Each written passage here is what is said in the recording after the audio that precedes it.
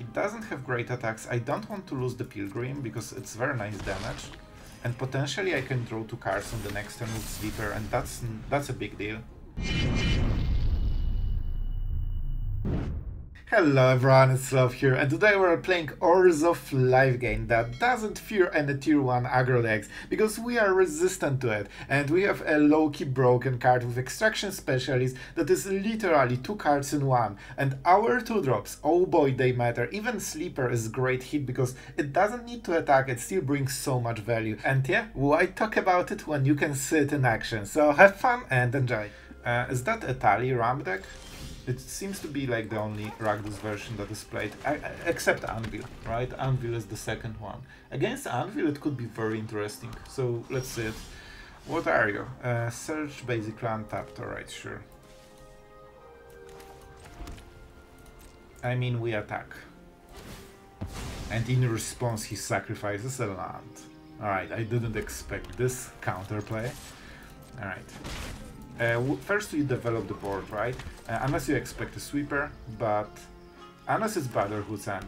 It seems like Brotherhood's End if he said, yeah. If he said nice, it means that he has a good card. Alright, uh, we still are kinda okay, honestly. Our opponent is playing Marduk control, it seems. Yep.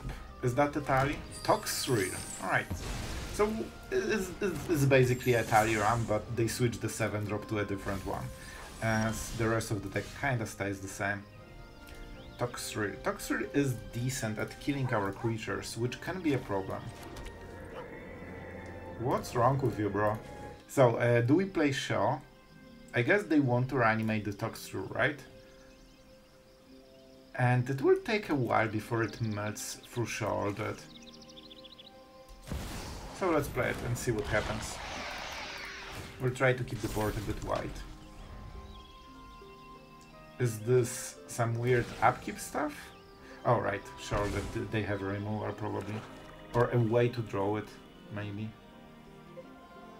They definitely play big score, right? Yeah, they already used it. Yeah, you do your thing. You make your Toxrill. Alright. Okay, so their whole deck is about cycling cards and trying to reanimate Big Slug.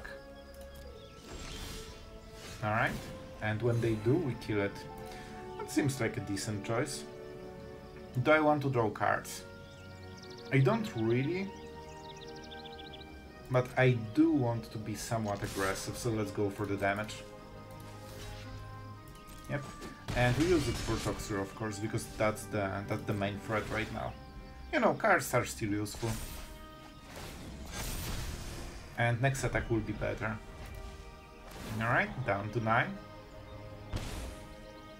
Nice, isn't it? oh man. Sure, so they will play a Tapland. And I would expect them to reanimate, like they have so much time, they really should do it by now. Sure. You may exile 5 cards from when you do return target creature card from your graveyard to the battlefield. Do they have 5? Oh, cards, not creatures. Alright, that's fine. We still kill Toxrill anyway. Most likely? You know what, we'll see. Because it actually doesn't kill anything right now. Alright, let's read the wording correctly. At the beginning of each end step, slime counter. So there will be one once. We can still go through it kinda. We lose Shelly. We gain 4 damage, we'll see. We need to remove our... The lifelinker is probably the biggest problem.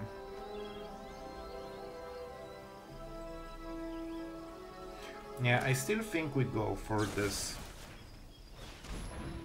We, we should wait until the end step, but it's fine. It's still the end step. Alright. Alright, guys.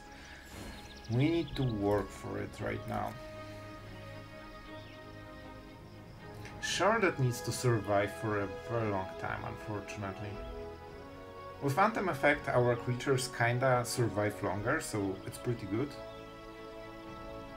They probably have the same play again, I would guess, or something like this. I think we might go for Aclazotz though. If I attack with everything, I can Takenuma, but it will be too slow. Man, he's emoting like crazy, I bet. But I still think we play Takenuma. And probably Aclazotz, honestly.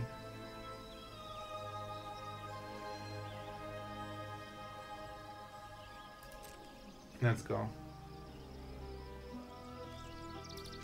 I think we go like this. He can trade against Death Touch.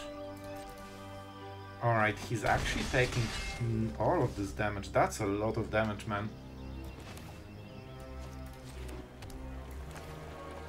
So I can go Aether super wide and try to force the kill on the next turn.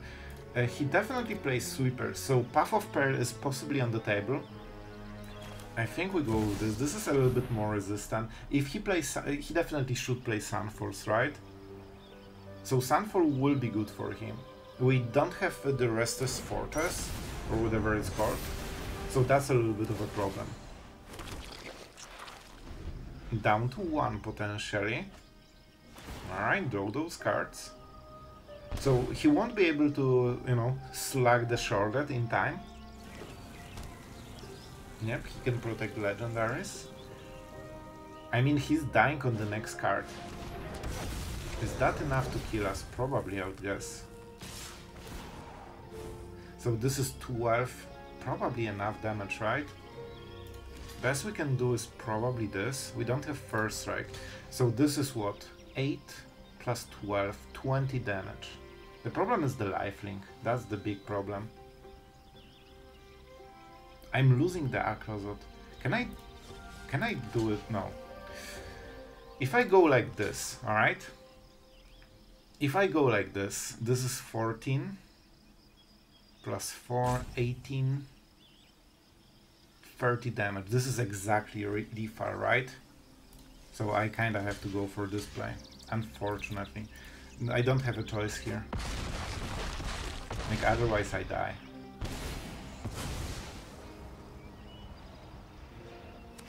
The lifelink is the problem. The lifelink is a huge problem, because he recovered and now he can keep drawing more cards. Hmm.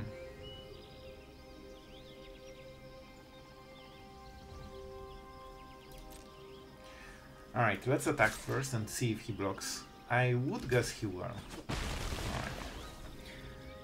So, I can get back the Aclazotz if I want. Or we can go super wide. It seems a little bit better overall. Let's go for it. Let's go for it.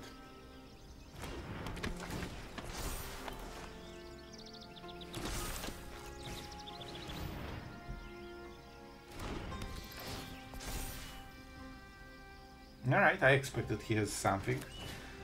Alright. I mean, he will get the slugs, alright? But it will be un until his end of turn. Yeah, I think the lifelink from, uh, you know, the guy really said, like, he would be dead at this point. But he life gained 6, and we couldn't prevent it even if we blocked it or killed it. So he had very low fuel, but he had exactly enough fuel to avoid lethal. And when Sheoldred dies, I think that's kinda it, right? So he won't get dealt damage because Sheoldred dies right now. So how do we do it, man? How do we do it? Maybe we go like this. He doesn't have lifelink right now. Let's go like this. We have one card in the hand, so it might, maybe, who knows, matter.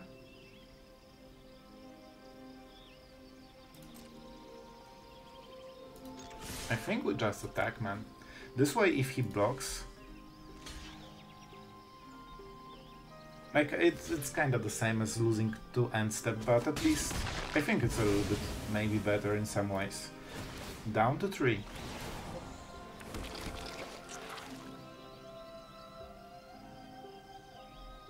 It's not blue. Uh, they can use treasures to draw cards. Alright, they are drawing cards, that's interesting.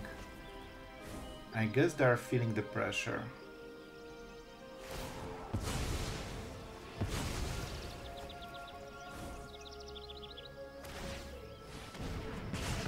Mm -hmm, sure.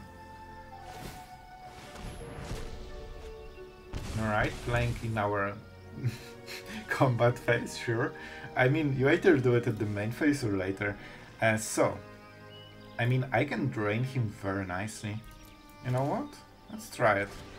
Let's try it. This will be a 3-3. And that's enough to survive until our next turn. We have draws that will win this game, but we'll see.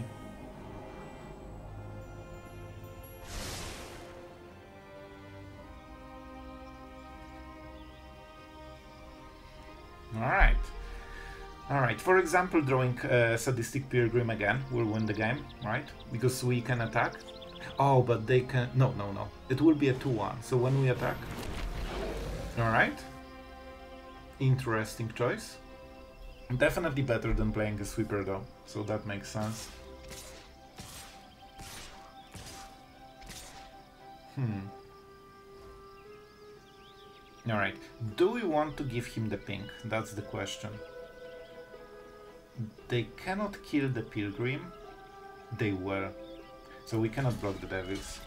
Because then uh, at dance step it will be a 1-1, so if they deal damage right now, it's, you know, it's still the same. So then they deny the lifelink, they feel proud about themselves, but it doesn't really make a difference. We just need to draw something that kills them, and I think that's the play. Oh! Huh? Nice? That's weird that they scooped to this. Like, I drew the card that wins the game, so I would play Sheoldred and they would die at the at the upkeep. I can only attack with one, so they're at one. And they can block with this. Oh, but then it dies, right? I will go with uh, Pilgrim.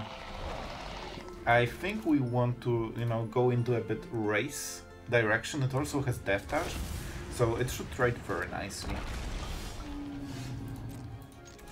Alright. Thank you. Man, they they just take those trades. Thank you. oh, yes. My value. Just got provided. Uh, I think the problem is that we really want the wedding announcement, so that was a little bit greedy play, but man, it, it felt so good I just had to do it. Was this the best decision? Honestly, probably wedding announcement was better. But it was still epic. But because you can just play specialist turn later, right? And then follow up with a sleeper on, on curve. But our opponent doesn't really have much pressure here. Uh, you attack first before playing land. This doesn't this kinda confuses your opponent how much potential you have. He doesn't know if you didn't draw the land. For example, if I play a land, I can play Sheoldred on the on this turn. If I have three, I cannot play Sheoldred, and maybe I got mana screwed. Your opponent doesn't really know. You add this whole layer of your opponent isn't sure if you are playing like this or this is the your draw basically. And it seems that I think our opponent possibly rage quit after he realized that he played exactly into our strategy. But okay, okay, that that was an honest mistake. My bad. He's just here, he probably didn't see it. It's fine. So, wedding announcement. And a tap land. This is a good land because it can attack on the next turn as well. We didn't attack with two creatures. And every time he kills something, he will lose life, which slowly will, will hurt him.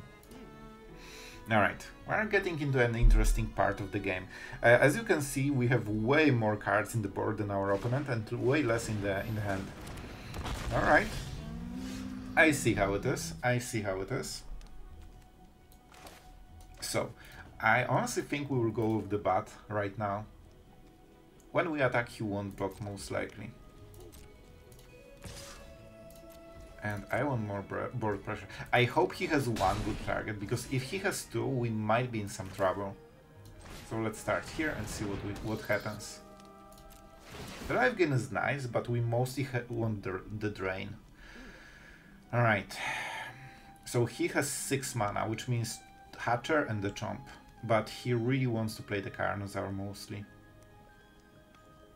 And he won't be able to, so that's the only hit we can go for right now. We can use this, we can pump it. You know, the life gain is nice, but... And this is this is the time when we didn't flip the announcement because I was greedy on the specialist. Right now, on next attack, we will already have the Anthem effect, so we will see if it matters. They will definitely chomp the, the butt. Alright, here, here comes the big dinosaur. They're at 14. Uh, if he will be aggressive, I'm absolutely fine with it. I actually want him to be aggressive. They they will definitely chomp, right? At sorcery speed. Huh. Really? Okay. I honestly didn't expect this one. That that was probably the worst choice of everything, man. right? Am I crazy or that was literally the worst choice? It enabled our pilgrim. Alright, I'll take it, man. I absolutely maybe I'm wrong, but it, it feels weird. Alright, so we definitely need to drain him as much as possible. Two mana. And we probably pay the ward, right? Is, is this still better? Like with this, it will always get the value, right? So we want to kill it. So we have two mana, basically. We have enough for a death touch. And with 30 life, I don't think you can raise us. He will absolutely do it. And I mean, we can double trade, but he will just sacrifice. So this goes on uh, Sadistic Pilgrim, right? We could also attack once and go for the next turn. I kinda like it more, man. I kinda like it more. It doesn't have great attacks. I don't want to lose the Pilgrim because it's very nice damage. And potentially I can draw two cards on the next turn with Sleeper and that's that's a big deal. So you can see, we on this turn we didn't have this kind of push yet, because I played Wedding Announcement a little bit later. So you can see how much of a difference it makes, because he's at 12 and this huge attack can matter. But honestly, I think it could be even better on this turn, so we will see how it goes. It could be even better overall. Alright.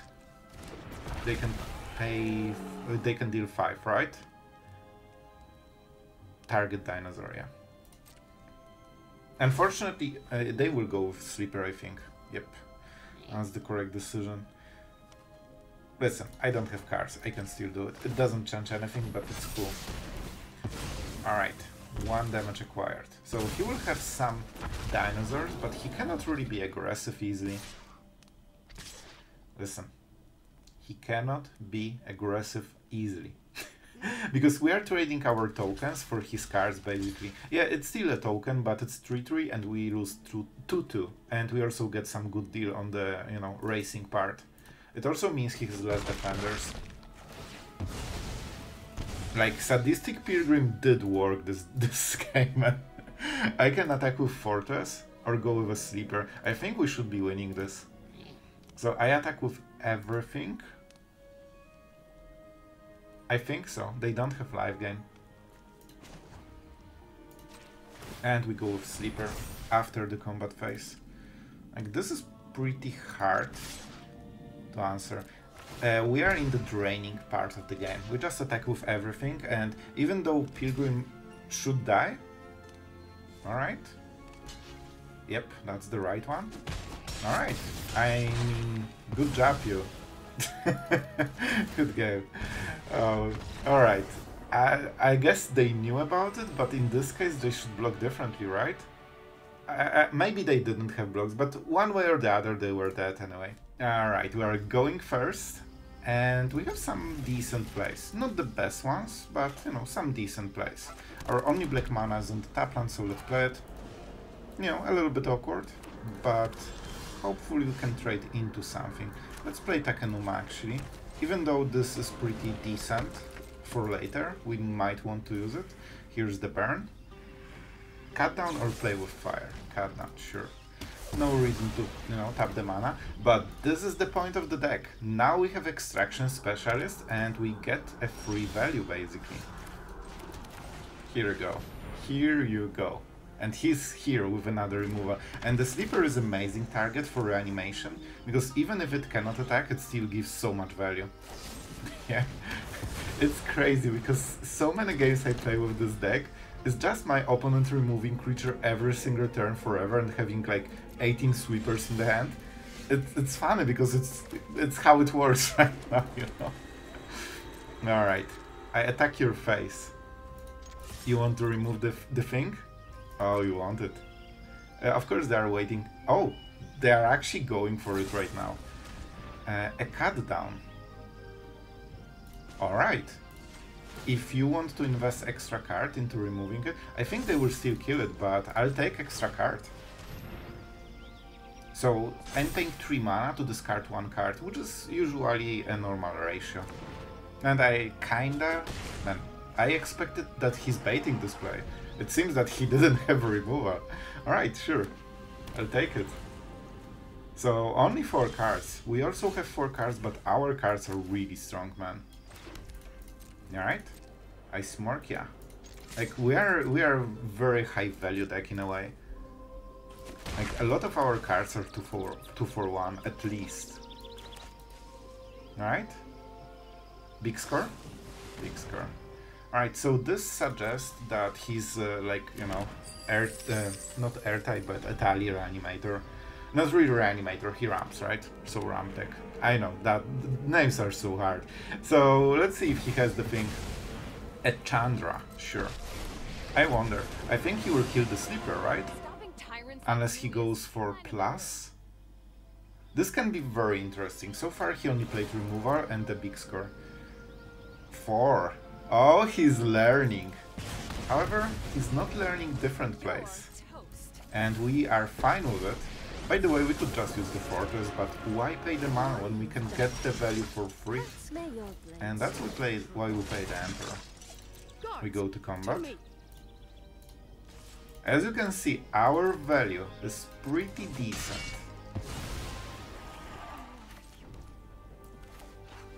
Bro, please, please stop it. So, um, he didn't have a sweeper, but he didn't need one so far. So what happens if he plays a sweeper? I mean, it's kinda fine, I still have shorted. I'm going all in here because I think he has no sweeper, and even if he does, I think I'm fine. Like, I can get back Aclazotz. Alright. Do you want to reanimate my extraction specialist? Alright, they're going for the card. But do they have time for it, man? I honestly don't think they, they have. So this is what? 8? Let's make it easier. We're going for Aclazotz because they probably don't have a removal for two. It could be go for the Throat, I guess. So 9, 10 damage. 11. So we just need to pay this single point of mana. There's no reaction, man. Like, I'm just killing this guy. And this is what you get for paying 3 life for cruelty of Gix. And he's also this. He can show us what he drew. he doesn't want to. Alright, even after Chandra, man, we absolutely destroyed him. Alright, opponent goes first. Let's sit. Let's sit. The bats need to do the work. Uh, I mean, we kinda have okay start, so let's put up as much pressure as we can, because oh boy, we are getting Sunfall soon. Pass. As expected. On for the day. Smarky Smark. Ah, you want, you know you want to remove it. So, what do we do? I think we'll go uh, for the Pilgrim. Because it provides the most pressure if they ignore it. They ignore it. Oh, so this is this kind of deck. Alright, I expected a band control. Man, crazy me. Like, nobody plays band control. Alright, so this will be this will be interesting. We have we have pretty strong attack on this turn. Do we want to go double bat? uh, absolute dead card, worst draw of the deck, literally. They're yeah, literally the only card that won't do any difference this whole game. So, uh, what do we go for? We can go Fortress and then double bat. We waste one damage, but honestly I think it's worth it. It's honestly worth it. Because we have a very narrow window of trying to kill our opponent. And it's closing on us. It's closing. I need to get rid of all of his Sunfalls, and right now the board is not so scary that, uh, yeah, I think he sets up for the Sunfall on the next turn. Because he knows he has time. And we need to punish it. He will probably get rid of one of the bats. Uh, sure.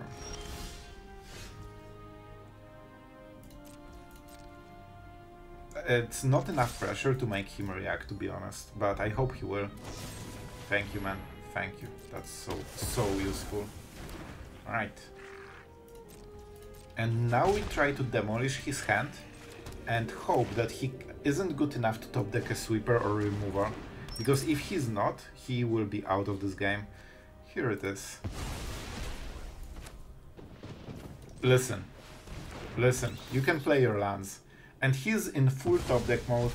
And now the game will be decided by drawing cards from the top. Let's uh, the Sunfall. Let's see the Sunfall.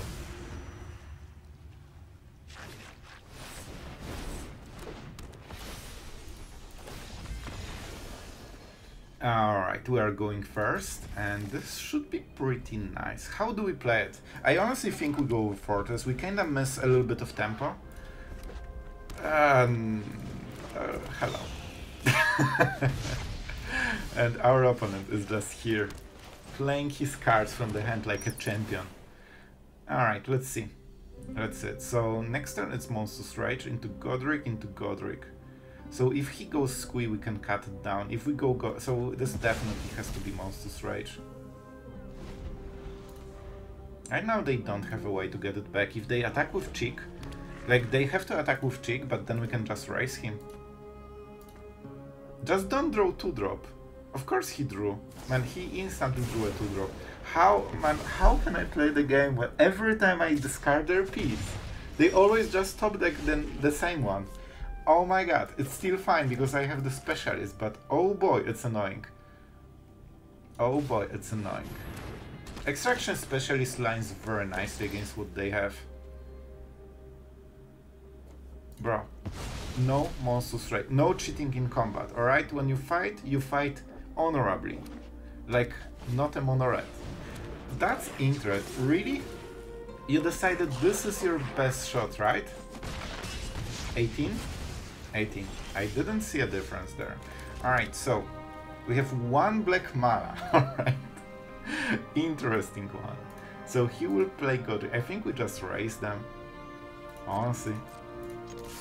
Mana is really awkward right now. But what can you do, man? What can you do? Uh, they will uh, expect this Goddric will get Celebration from Squee token.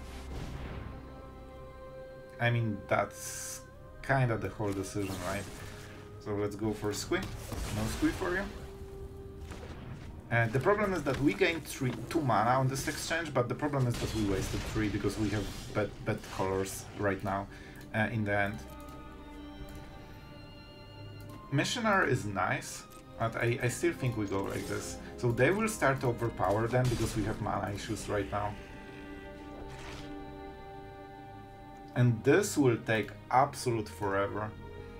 Yeah, I honestly think we don't have a choice. Uh, if we just have the wrong colors, it's, it is what it is, you know? We are going with this play. At least missionary is all white.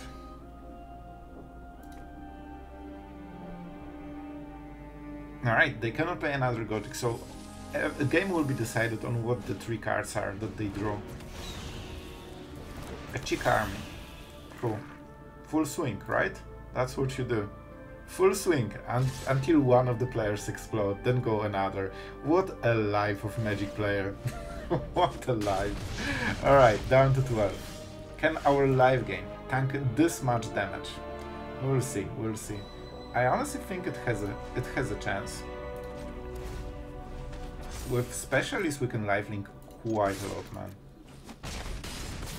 And you know that our opponent will never play a different card than just smirking your face and seeing if that's enough.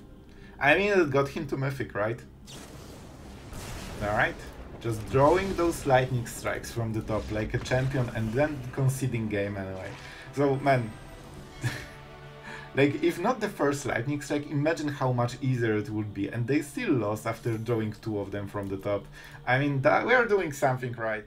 Alright, I hope you enjoyed those games and I hope that we proved that Specialist is a pretty strong card, man. 3 mana for a 3-2 lifelink is very decent rate. The fact that you get a free creature, and especially that when played on curve, you potentially get two turns in one turn. This card can be absolutely insane. And one of the powers of this is that it's one card that kind of forces very often a sweeper uh, with sleeper and you know sadistic pilgrim, but especially I think the bat is insane because not only it gives you pressure on the board, but it also gives you basically the full effect from the card. Of course, the card cannot attack, right? But if you if you play the deck right, you will get the value sooner or later. And yeah, with Sheoldred, I honestly think we could be playing four Sheoldreds because they were so insane in every matchup. I tried to go with the Emperor, and you, can, you have seen that it works against Chandra, Planeswalkers, and the idea was that you have creatures, so nearly always you can get this plus one for a first strike, and you just get a free value most of the time.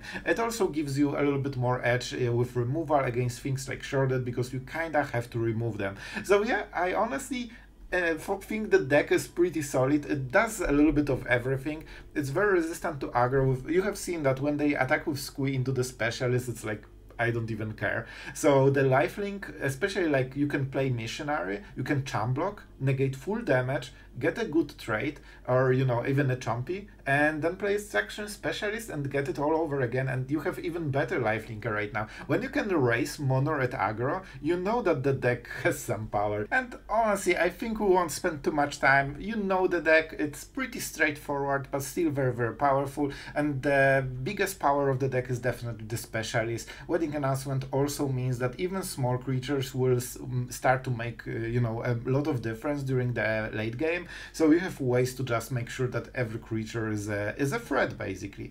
And yeah, I think we will stop there. I hope you guys enjoyed the video. Tell me what you think in the comments. And yeah, see you tomorrow.